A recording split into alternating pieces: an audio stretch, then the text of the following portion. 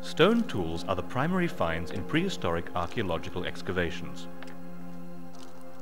They enable us to reconstruct many aspects of ancient human life and behavior. The earliest known stone tools date from two and a half million years ago.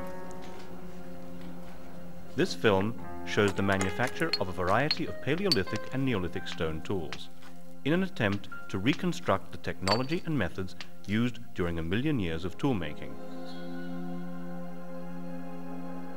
The film follows a timeline, opening windows onto some stages of the evolution of stone technology as it is understood by archaeologists today. From early times, humans have produced sophisticated tools requiring a high level of dexterity, planning, and imagination. These tools are from Gesher Bnot Yaakov on the banks of the Jordan River in Israel. It's, it's said in the mod- Producing a finished tool from a piece of flint involves many stages and demands planning and technical knowledge. Excellent cutting edge. Early humans looked at a rock, 100,000 years old. Saw the tool's image implanted within it, removed the waste, and brought the tool to life. look how thin. What an When, when we look at this uh, map, actually, it's Archaeologists return from the field with the finds and detailed documentation of their discovery. concentrations around this. All of the stone tools are measured and recorded, and questions begin to emerge. been knapped from this is one Where did the prehistoric knappers obtain their raw material? And how did they extract it? How were the stone tools made? Which working tools were used to produce them? How much time and energy were invested in each specific tool? What can we learn from the patterns of tools and waste excavated at an archaeological site about the types of activities that took place in it? The archaeological finds alone cannot answer these questions. Experimental archaeology, in our case flint knapping, has been developed to help answer these questions.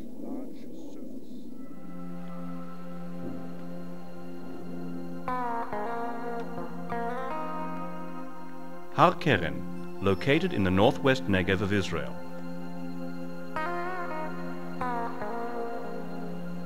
Its Eocene flint beds are interspersed within layers of limestone. They were formed on the floor of the huge Tethys Sea around 45 million years ago.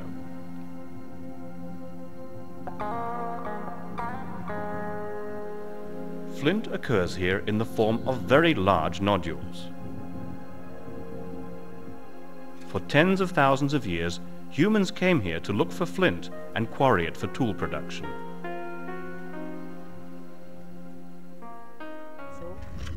This for the surface material. Once flint of high quality is located, quarrying begins. The process, using antler sticks, stone picks, and hammers, takes considerable time and energy.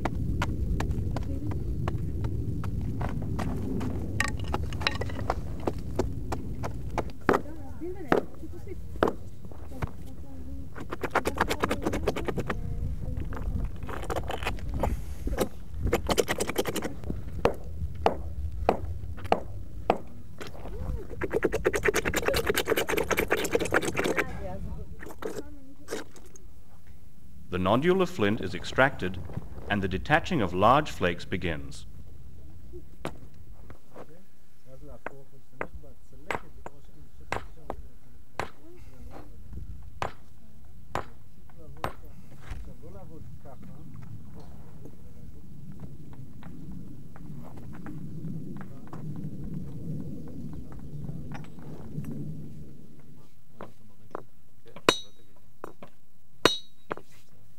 Giant cores are knapped to reduce the massive nodule to pieces of transportable size.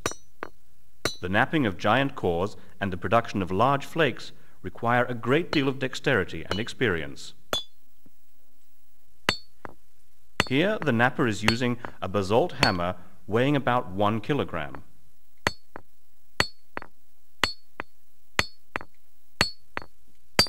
large flakes are removed sequentially. The scar of the previously removed flake becomes the striking platform for the removal of the next one. The flake morphology is dictated by the use of a hard hammer, as well as the great force applied by each blow. The flakes are characterized by large, plain striking platforms and prominent bulbs of percussion.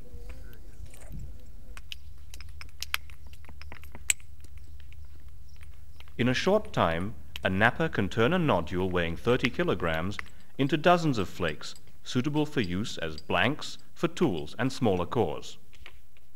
The flakes are sorted by their morphological suitability for the types of tools into which they will be shaped.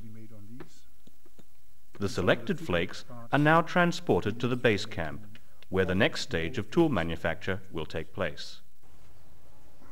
At the base camp, the knapper assembles the large flakes that will be used as blanks for the production of the bifaces that are typical of the lower Paleolithic. Here he is knapping a cleaver, a tool that is typically made on a large flake.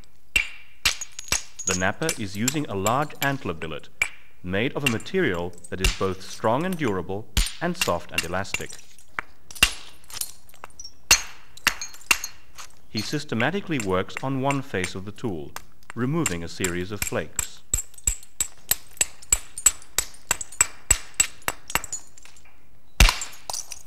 Next, the other side of the tool is worked, using the same technique.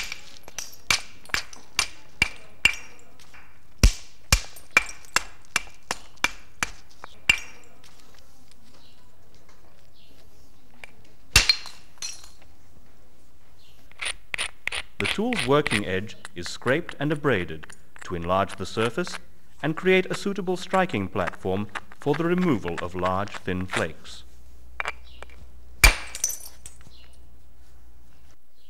The production of a cleaver takes only a few minutes.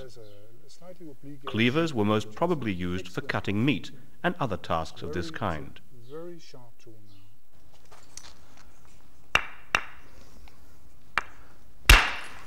A similar technique is used for the knapping of a basalt cleaver from a large basalt flake.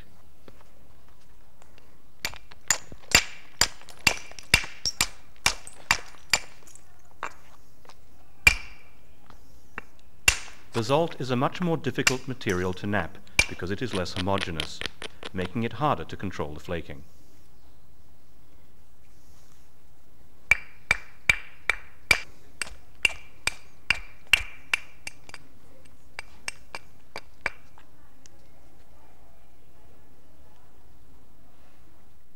It's a little bit heavy. In addition to cleavers, the Acheulean culture is characterized by hand axes, typically shaped like a teardrop. Some hand axes are very thin, and their standard of workmanship is astonishingly high. Accurate preparation of the striking platform is essential. The removal of each flake is carefully planned in advance to further the objective of thinning the tool.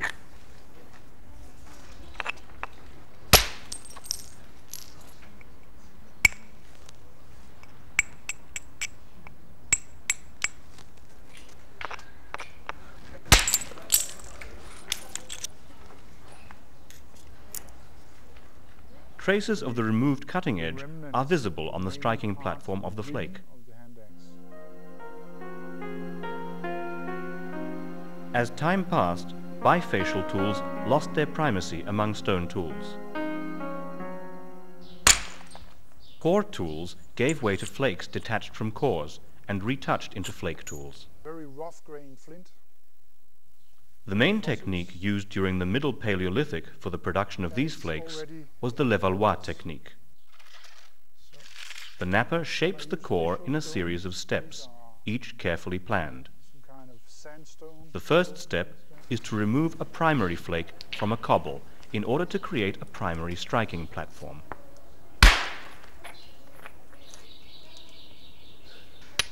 In the second step, the knapper isolates the striking platform for the next flake. This ensures that the blow strikes exactly the right point to detach the flake that is planned. This is how the typical multifaceted Levallois striking platforms are created. The process of preparing the striking platform and removing the next flake is repeated again and again. it's gradually building. The core loses volume and acquires the shape that is typical of Levallois cores found in archaeological sites of the Middle Paleolithic period.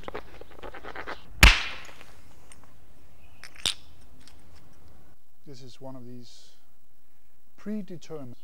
and This was the Application one. of the same technique to longer cores results in flakes of correspondingly longer what we call a proportions. blade, very regular one. Exactly this. This is how one of the most typical Levallois products, the point, the Levallois point, is produced. and it's a classic product, true blade. In the Upper Paleolithic, beginning some 40,000 years ago, tool users and makers turned to longer tools.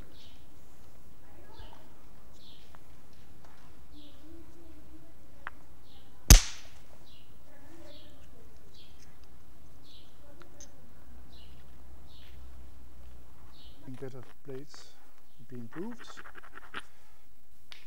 The manufacture of blades from a blade core is similar in principle to the production of Levallois flakes. See? Some uh, The invention of the punch technique was a giant step forward for lithic technology. This indirect percussion technique gives the knapper maximum control over the point of percussion and the force applied. Not very much force. I have to be careful not to break the, the blades.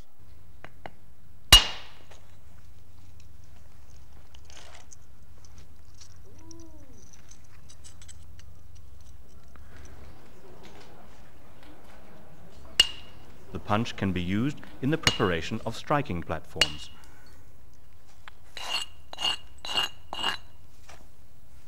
The position and stabilization of the core are crucial for successful blade production.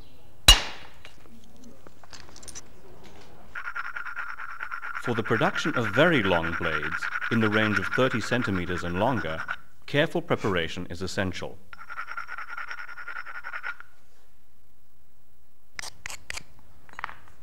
The knapper invests all of his knowledge and experience in the preparation of the knapping tools, as well as the core and particularly its striking platforms. It sometimes takes more than two hours until the first blade is removed.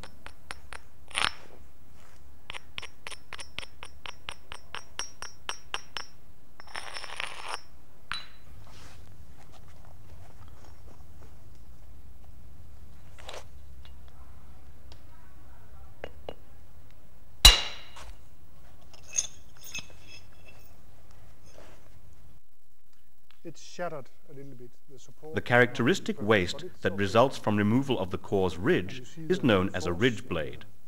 These are often found in sites where blades were knapped. cannon Type beginning. Punches were also used in the European Neolithic for the production of square section tools.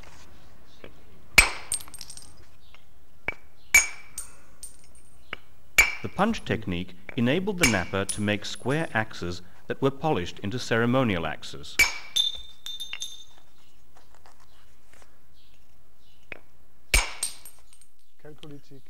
From the blades produced, the knapper chooses the ones that are suitable for shaping into tools by a process called secondary modification or retouch. When making an arrowhead, the napper chooses a blade of appropriate shape. He retouches the blade's edge until the end breaks off spontaneously.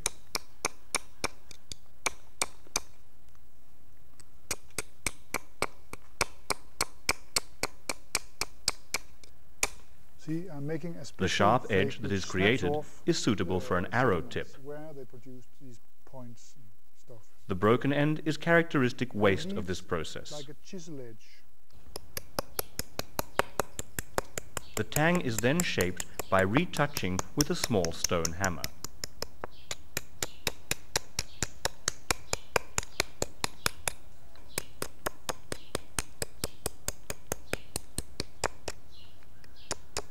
Using this technique, the production of an arrowhead takes only a few minutes. by making a notch. One of the most common tools of the Upper Paleolithic is the burin. First, the knapper truncates the blade using a stone hammer and a wooden anvil.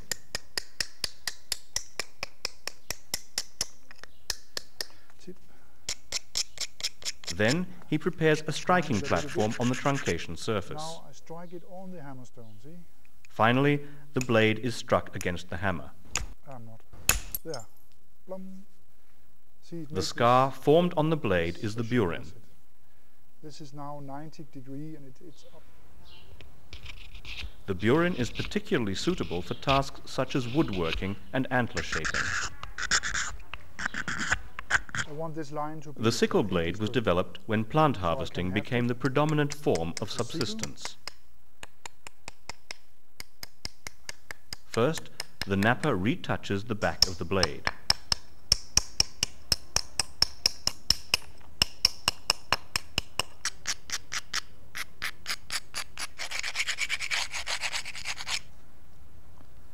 A flint flake is used to create the saw-like edge of the sickle.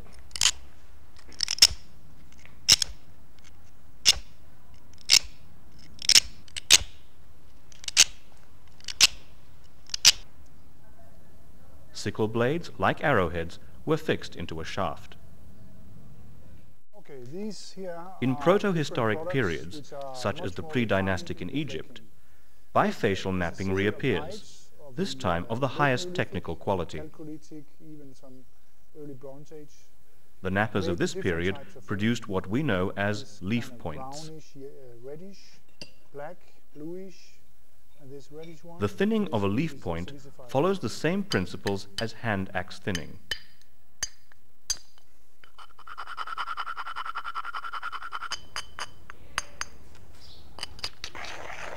The knapper is using a very large antler billet, as high energy and speed are crucial.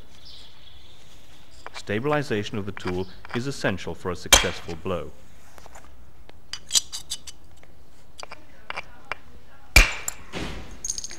The flakes produced, known to knappers as diving flakes, are long and thin and are often broken because of the high energy invested in the blow. And the part is here. Leaves were sometimes used as blanks for the production of very fine tools using a pressure flaking technique. This technique enables perfect control of the removal of small flakes. The working tool is a handheld antler flaker.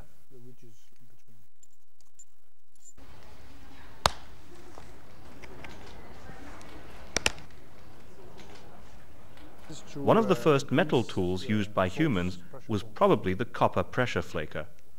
The copper tip is placed inside a wooden shaft to increase leverage.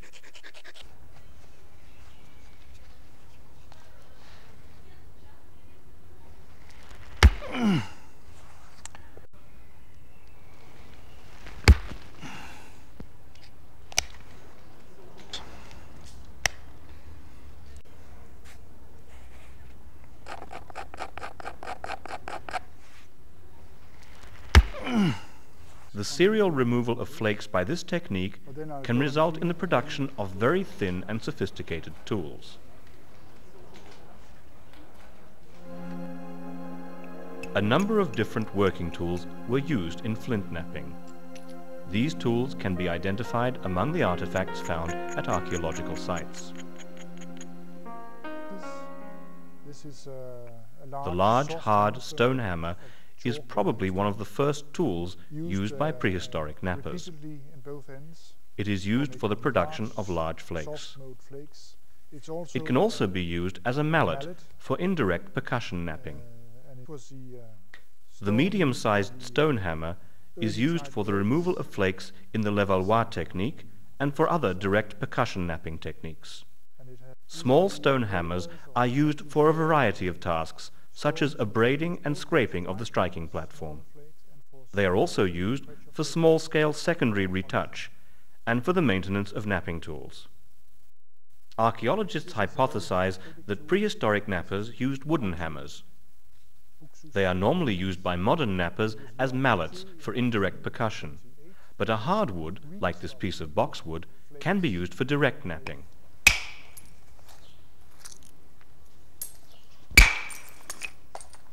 The antler billet represents a revolution in the history of lithic technology, as there is no other material in nature that has its unique combination of strength and durability together with softness and elasticity. It is also readily available. this is a heavy The antler punch punch is used in the indirect percussion knapping technique. The invention of the punch These are exactly paved the way for the dominance of blades in the human tool collection. many Scandinavian, many Danish sites, box sites. Experimental archaeology and the controlled napping of flint tools help us to answer many questions. We have seen where raw material is found, how it is quarried, and some tools and techniques used by knappers.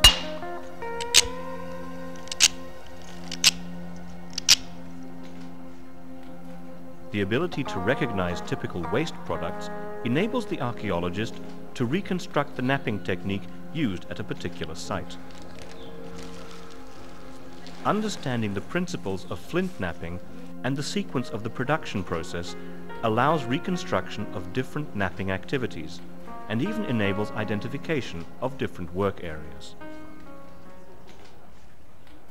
The study of lithic technology attempts to reconstruct the life of prehistoric humans through the collection and analysis of artifacts.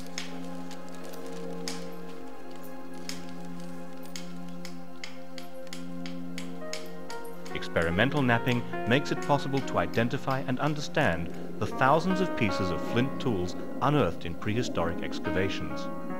It opens a window through which we can get a glimpse of the behavior, thought processes, and mental abilities of prehistoric people.